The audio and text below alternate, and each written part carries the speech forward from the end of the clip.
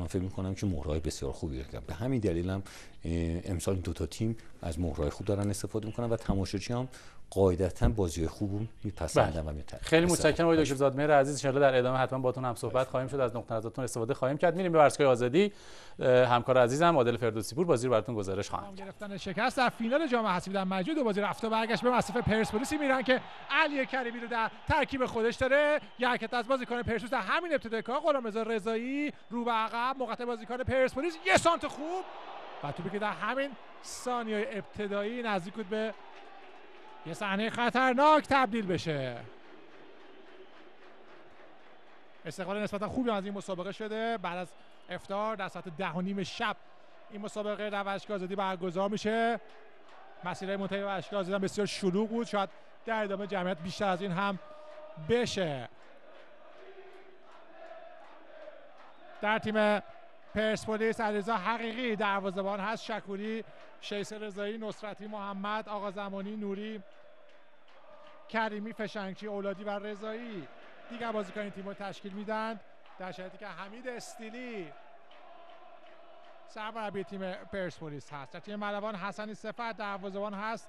سالارزاده جراحکار رمضانی پورغلامی همرنگ مسلمان یوسف زاده حیدری نصحتی و رافخایی. دیگر بازیکن تیم ملوان هستن که فرهاد پورغلامی اونها رو در ترکیب اصلی تیمش قرار داده. یک بازیکن ملوان در سمت را دیدی به دو طرفه اونجا می‌خوان بزنن و ضربه دروازه اعلام میشه. داور مسابقه آقای محمود رفیع است آقایان سخندان و داوری او رو در امر قضاوت کمک می‌کنند. ضربه دروازه علیرضا حقیقی باید بزنه.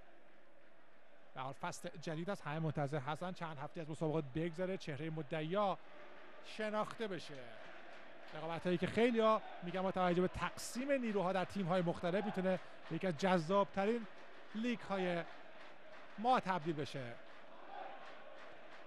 آقا زمانی تو واگذار می‌کنه به غلامرضا رضایی.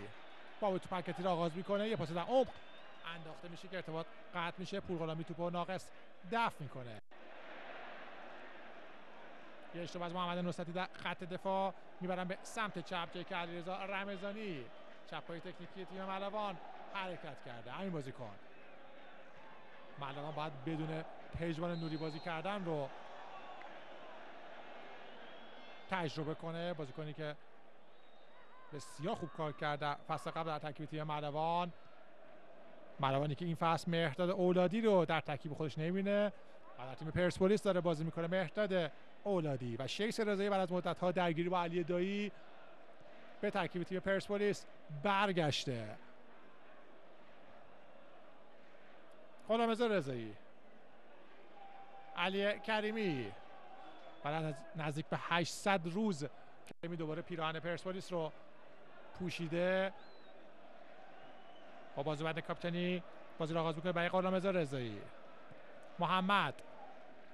ارتباط قطع میشه توسط بازیکن ملوان سامان آقا زمانی. چهره استیلی رو ملاحظه می‌کنید. بالاخره به نیمکت پرسپولیس رسید. یک بازیکن پرسپولیس